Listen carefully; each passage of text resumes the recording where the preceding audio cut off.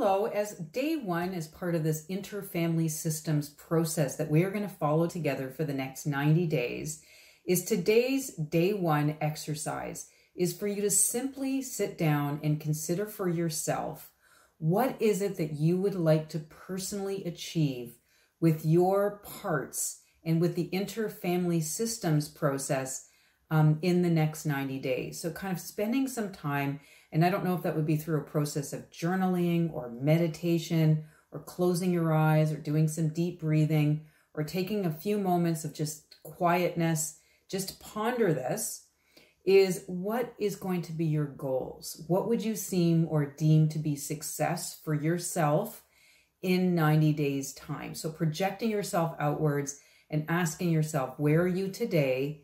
And how do you want to navigate? What kinds of achievements do you want to um, assess in the next 90 days? And so, one of the things I think is really important is that parts work is an iterative and an emergent process.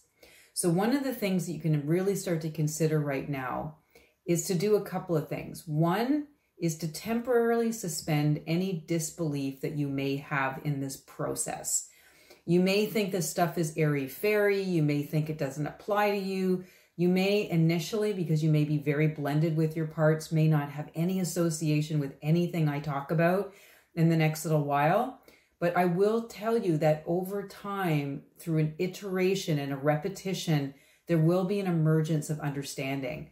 And so I'm just really asking at this stage as for your consideration as you project out for your goals for the next 90 days is to consider how you may want to, what you want to achieve, and how you're going to go about achieving it.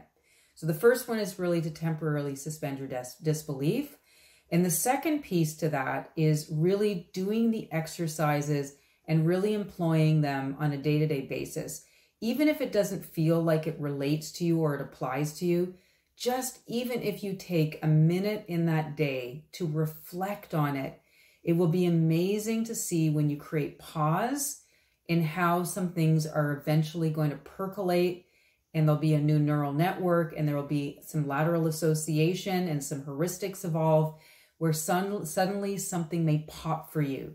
You may, this is actually a process for us to engineer some serendipity or an aha moment for you or a eureka moment where you'll have this an explosion of self discovery.